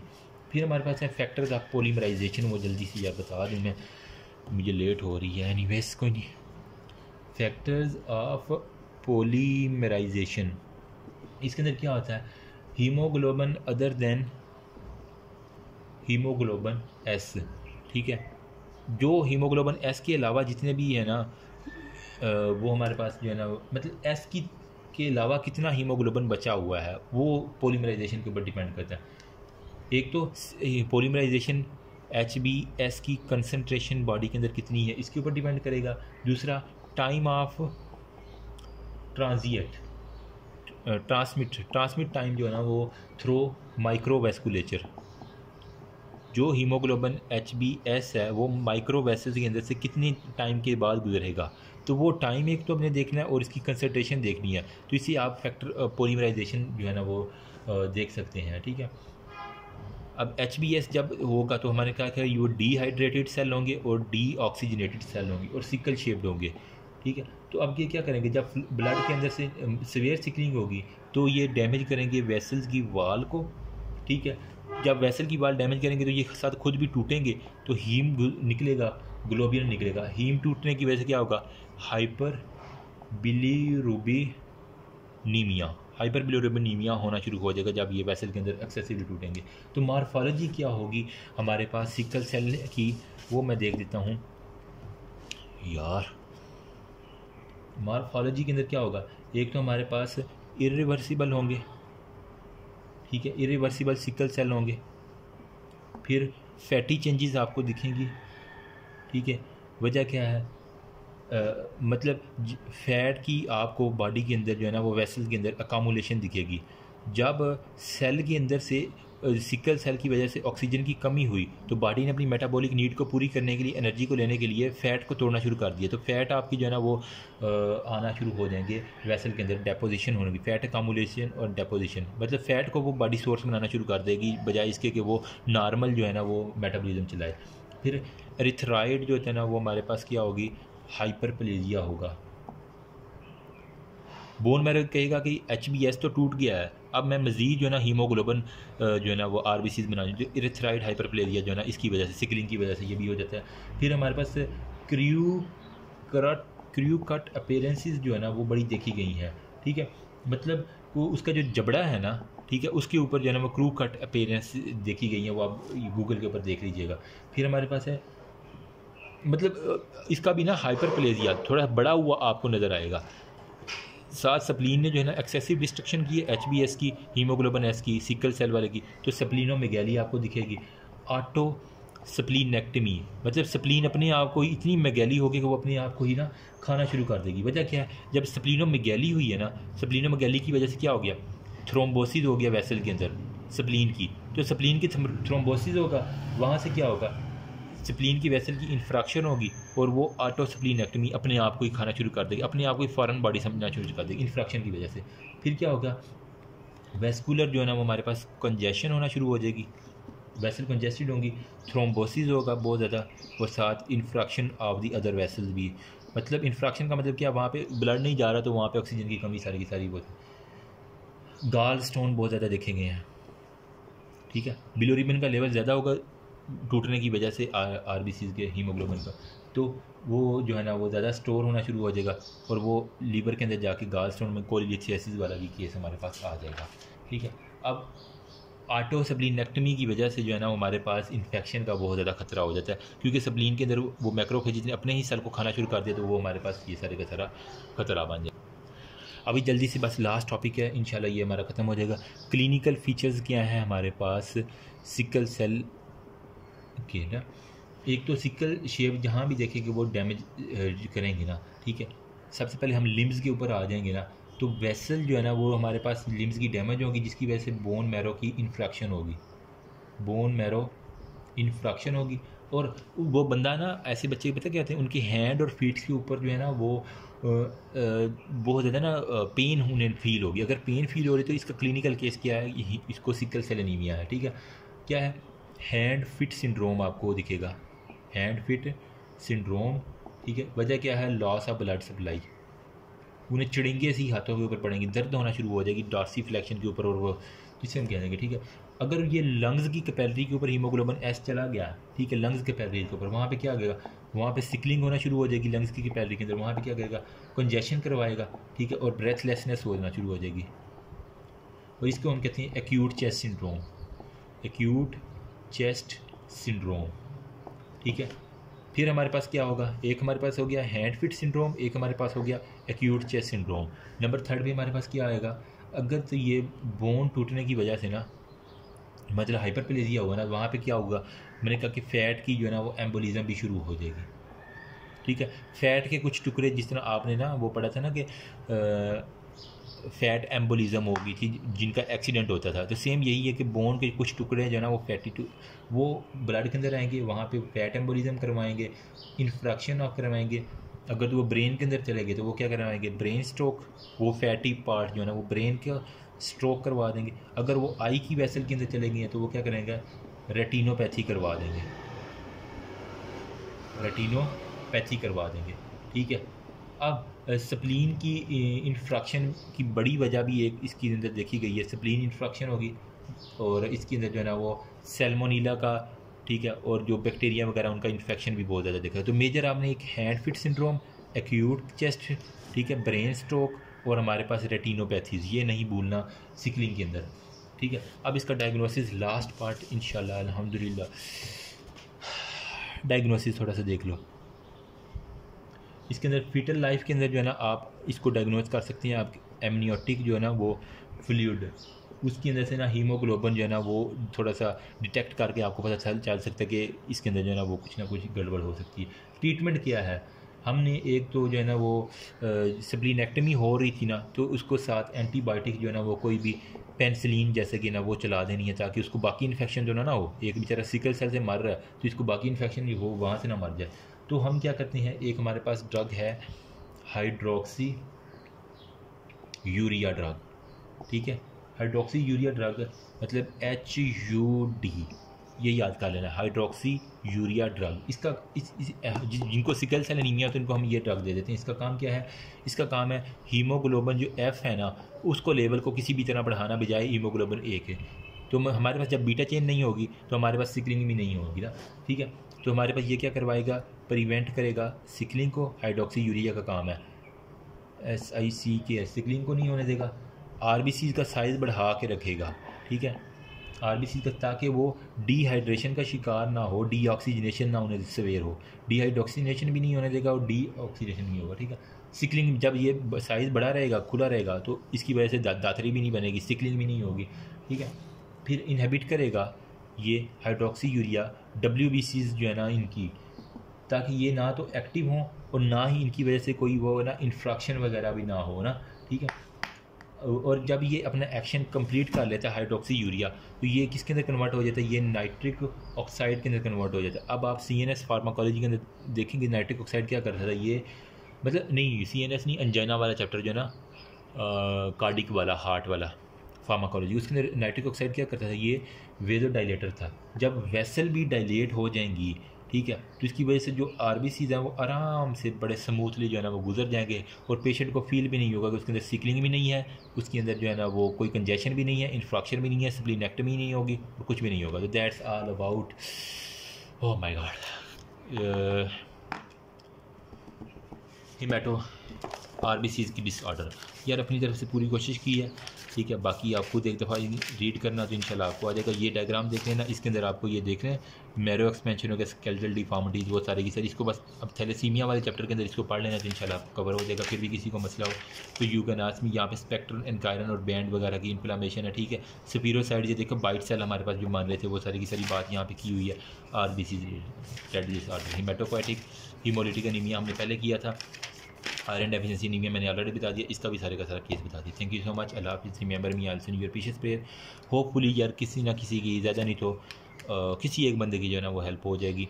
अभी आज सेकंड रमज़ान था और अभी अफ्तारी के बाद मुझे क्या टाइम हो गया? सात बजने वाले हैं ठीक है? तो अभी मुझे जाना होगा। आ, कोई नहीं थोड़ा सा लेट भी नहीं हुआ लेकिन अपने टाइम के ऊपर इंशाल्लाह मैं पहुँच जाऊँगा। Thank you so much remember me also your precious prayer फिर भी किसी को कोई मसला हो तो यू कैन आस्क मी जितना मुझसे हो सकेगा। बाकी पास पेपर मैंने पीडीएफ बना लिया वो मुझसे ले लेना। जिस जिसको चाहिए व्हाट्सएप पे आके। थैंक यू अल्लाह हाफिज़।